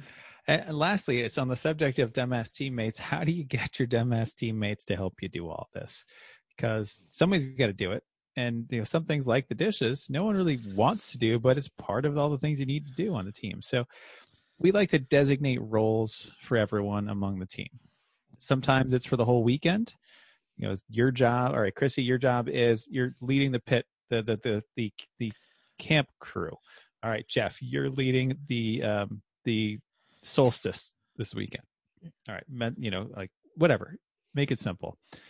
But beyond that, you can even have individual meals. Like sometimes Greg will say, "All right, I'll do half a Saturday night dinner. Like I'll I'll roast the pig." You know, have it all clear ahead Forgot of time. about the pig roast. Right. Hell yeah. Yeah. So ha- have it all clear ahead of time who's doing what and when. If they have a specific job, they're more likely to do it. And people like people want to help usually. If they don't, like Mental said, they shouldn't be on your team. You're not gonna if you're not helpful, I don't want you in the car at all. You don't deserve to be there. So but if someone has a specific job, it's much easier for them to do it than just look around and see what needs to be done. Well, everyone should be doing that all the time, but it's also nice that when something needs to be done, you know, all right, you know what? That's not really my job. I'll help if I need to, you know, Jeff can do that. And then later on, when something, when the Honda breaks or something, Jeff's he's like, all right, well, Chris has got that. I'll help him if I need to. It, it's kind of a little break. We're not always on all the time, and things get done. But you know, when the when things go sideways, everyone helps. Well, and I, I think that's how Steve became the dishwashing fairy is usually Chrissy and I were cleaning up like the kitchen. You know, we're you know, the first thing we do is we put all the utensils in the bin and then I start like scrubbing the flat top or taking out the trash and Chrissy's putting away all the c- cold food and running around to make sure everybody ate. And then we turn around and like, oh, you know, we've been doing this for 30 minutes. Maybe it's time to do the dishes. And we look over and they're already done. And Yeah. that's the kind of helpful teammate that you need. Someone who doesn't need to be asked, someone who just shows up and helps. But don't be afraid at the same time because people come into if you've got a new teammate and they're coming into chaos and they don't know where they fit in. Hey, could you do me a favor? Please go take this trash out or go do this. And you know, I I haven't had anyone say, "Screw you, that's not my job." Yeah, don't take the trash out. That'd be terrible. Yeah. Well, I think that's part of what Chris is saying for the ac- appropriate expectations, especially for new teammates, which I think we've talked about before, especially a new arrive and drive, get to know what the paddock looks like. They, but of course, most people, especially when I'm running around like crazy, somebody says, "Can I help you?" If the dishes are done, most of the time it's just me trying to clean up, put things away, get ready for the next meals, which is by the time I tell somebody, it's easier for me to do. But there are little things like that that are easy to to be able to pick up and, and help. And How having many times have we gotten on the radio and been like, Chrissy, when do we need to start the crock pot?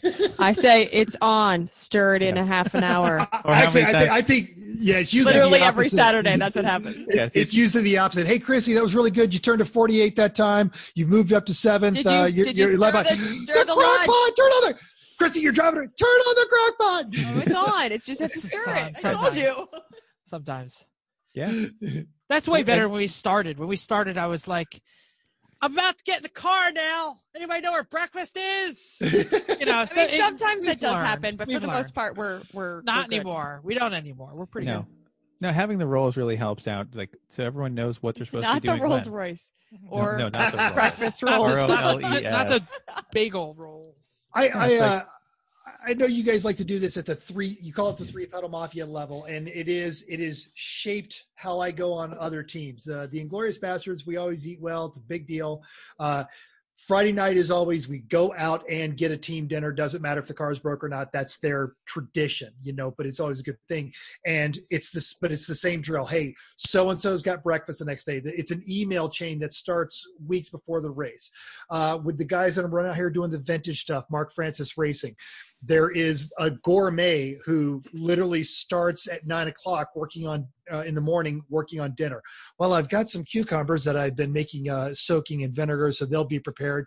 We did a roasted goat at uh, Buttonwillow. Yes it was yes. and then they and then they put or i'm sorry it was a lamb and they put chickens in it. So it was a, a lamb duck dinner or whatever they call it. And then turducken. Yeah he's getting a full But it's not a turducken if it's a lamb on the outside. Yeah, la, They- la duck. And- la, la And there's no duck. There's no duck, the lambkin. lambkin. the lambkin. lambkin, I like lamb, yeah, it was lambkin. And then um, as as dinner started winding down, they were cleaning up, and he cut up very specific stuff because that was going to go into the breakfast omelets the next day. So they've got this entire rhythm, and at a Mark Francis race or at an Inglorious Bastards race or at a Three Pedal Mafia race, because everyone's got enough calories in them, there's not a whole lot of fighting. There's not a oh, lot of nice, callous mistakes that get made. Everyone's usually in a pretty darn good mood, even when all three cars have blown up. Yeah. It, it's it's it's it's an overlooked thing, but when people have their basic Maslowian needs of food and water met, they're a lot more jovial about what else is going on. It's a lot less for everybody else to think about, especially in the 3 p.m. world. We have our own roles, uh, our own Rolls Royce. Um, Not we nope. Uh, it's nice to be able for you know the other RVs that are coming. You don't don't worry about food. You know, bring enough what you need for to get there. You know, bring something. But you know, I we always know that Greg's fridge is usually full of random stuff, which is has been very helpful. Um, because there's plenty of times where we've got extra people though around and no extra food, or we usually try to keep a little bit extra food. But yes, absolutely, I think it's uh, it's helpful to, to plan ahead. I think we've exhausted all of our notes. Does so. anyone have Yeah. anything else to bring up for the good of the order? Nice. Now we're going to move on to the next section. on the spot. On the spot. Spot. Not as good as just a tip, but it's still coming from Chrissy this week. All right, Chrissy, we've ta- go. we've talked about a whole bunch of food and a whole bunch of tips. I want your Stuffed camel. Is that the answer? no, unless you've had it. Uh, favorite is that me- the answer to, Jeff? Just favorite like, meal at the Food, track. Food in Africa that sucks? Yes, I know that answer. That's not where we were going with this. Uh, favorite meal, favorite tip, paddock pit tip. Hmm, okay. Good one. I already used crock pot liners last week. We already talked about that, so it's not that. Um, All right, I'll, I'll give you guys time to gather. Uh, learn this trick during one of my uh, trainings, air military trainings. Uh, our diets were getting really bad because it was 12 hour days and we had very specific schedules we had to meet and when you've got a little if you've got a smaller team you can go to the meat section of your local grocery store and just get the smaller flank steaks they're like three dollars each you can get a, a, big pack of 10 of them take a um a marinade just go grab a bottle of three dollar marinade small Ziploc bags, each of the steaks, throw a little of the McCormick season in there, throw the steaks, lay them flat in your refrigerator and let them marinate leading up to the race. Throw those in the freezer or put them in the bottom of your cooler. And now you got good marinated steaks ready to throw on that grill to feed your team. And they'll, they'll cook up in 10 minutes when the coals are hot. So uh, I know Chrissy. You know, one of the things that Chrissy mentioned briefly, but she didn't get enough credit for, and I'm going to throw some credit her way, is really taking care of the dietary needs of the team. Uh, my brother doesn't can't eat eggs because he's allergic to them, and there's always a bagel with a little cream cheese, and the rest of us like, hey, how come Jim's get a bagel? And we're all like, yeah, because he's allergic to eggs. Eat your freaking omelet, asshole. Um, but but recently you you've got gluten issues mental shows up. He's like claiming to be vegan but then i see him eating the bacon cheesesteak i don't know. Uh, soggy's soggy's bacon is exempt from vegan sure, okay okay. So vicky happy birthday vicky brought a pot of African peanut sweet potato stew oh, once. Oh my god, that was so and good. it was amazing. I've made it at home twice since yeah, then. Never as good at that time. Maybe it's just because I was at the track and I was hungry as a mother. But and Bruce fantastic. says, "Why does have any meat in it? Where's the meat?" so then she makes him meat too, because she knows that he likes meat. So she has another oh, dish. he likes the meat. yes, he does. African peanut sweet potato stew. Good call. Good call. I guess I don't know if this is the best food, but it's the best memories. Is the when we do fry fests on hot on summer nights oh, at ah. races. Best. You know, like the fried turkey and then the fry then the tots and then like the stuff shows up that I mean like where the hell did we even find this? And it's fried. We're just throwing everything in at that oh, point. oh, yeah. we're just yelling and saying if it's oh, like oh, yeah. hey anybody got thrown this in the fry right. Well then like we'd like we leave the funnel cake batter but then we're just dipping like cookies in it and throwing those in there. Like you name it we're throwing the fryer. And we're all just having a great time just sitting around with your friends on a warm night eating fried shit and feeling good about it Fry, Fry Fest is great because it comes out in stages. Yeah. So so you eat the turkey and the stuffing and the whatever mac and cheese that Omar brings or whatever, and then you're like, oh, fresh French fries, and then you eat some of that, and you eat some more turkey, and then you're like, ooh, tater tots. They're hot as balls. Right. That's exactly what I was gonna say. And then like my tongue is twenty minutes hard. later, it's like sweet potato fries. When did they show up? Give me some of them. Because I always hang out with you next to the fryer, my mouth is charred by the time every time we have fryer fry night because I'm like we eat it right out of the bowl. We like put it in the bowl, toss it, and, and eat. some ah, and then we deliver it to everybody else. Oh, I, next time I've never seen one of these, but I'm coming and I'm gonna go totally friggin' state fair on you guys. I'll do the deep fried Twinkies. I'll do deep fried cheesecake, deep fried bacon. It's coming. We just don't have that at the trackside. We just start throwing crap in, and we, never we, we did for Greg's freezer. And well, Friday, Friday night, that was for Summit Point um, yeah. Carnival.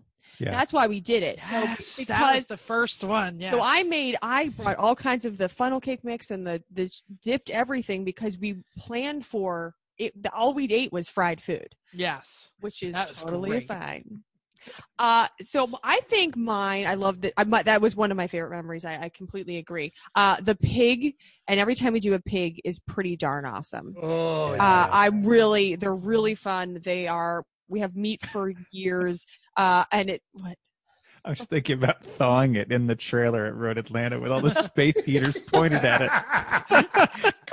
Chrissy safety squirrel, propane safety squirrel, was not happy. I was not. Day. Well, it's fine. I, I, that was the time I had the flu, so I didn't really care. I just was like pretend hey, not caring. And please tell you're, me you're hey, venting. Please tell hey, me you're venting that. that.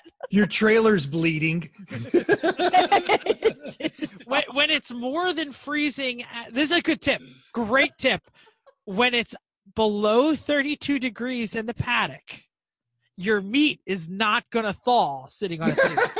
Well, and you ha- still have these problems with the rest of your f- stuff Yeah. in your cooler. Even if you just have your cooler closed, you still end up with very frozen. If it's food. when it's that cold, I sometimes leave the cooler open overnight if it's going to be that cold because it makes Saves it better. ice. Exactly. All right, any any more good tips that we did you give or- a, Did you give one? It's Yeah, meat. Started. Oh, it's, oh, that's it's right. Steaks, marinated Steak, steaks. steak, marinated steak. Good one. That was it. That's a Yeah. good one. That was a good one. All right, I think that's it. Oh my gosh, I'm totally not ready. Does anybody know what we're talking about next week? Yes, yes, Yes. I do. Oh my god, What? is that possible? Guess what? Go the ahead. nation is emerging from lockdown. Not around here. Uh, and there's even a possibility that some areas might have real races this month. That's kind of scary to think of. Uh, but iRacing is still part of our landscape, obviously, because we talked about the whole darn show about iRacing. Uh, but next week we will get, have pro instructor Tyler Hoffman on board to talk about how we can use this tool to go faster on track and how you can go faster in the virtual world as well. That's awesome. I'm still finding zero parallels between iRacing and real racing, but that's okay. We're we're all seeing parallels between your iRacing. and I'm way better in real He's life. way better in real life. I can actually stay on the track in real life. Usually. I don't know if I can find the line, but uh, it, after this time off of the track, I, we are all going to be rusty. Um, anyway, thank you for downloading us. Next week, maybe I'll learn something. But we hope you enjoyed and learned something this week's edition of Everyone Racers. We'll also hope you'll join us in the world of driving, iRacing, and iBuilding because everyone can be an iRacer, even you. And real racer too, I guess. If you enjoyed this podcast, subscribe. It's totally free. Then go to iTunes and give us a five star rating because in the COVID 19 digital world, that's money these days. There's no real money anymore. It's just five star ratings on iTunes. If you hate us, give us five stars. Tell us why. If you have any questions, you want to tell us what you're working on, give us some show ideas or anything else, drop a comment on our Facebook page, Everyone Racers, or email us at everyone.racers at gmail.com. Find us on Instagram or Twitter at everyone.racers. Thanks again, and until next week, keep the carb loading side up. Unless you're gluten sensitive. I can still eat carbs, but it's okay. I, I know. Uh, I don't know. Just just eat the food and keep the shiny side. Up. It's terrible. Oh wait, I gotta push stop.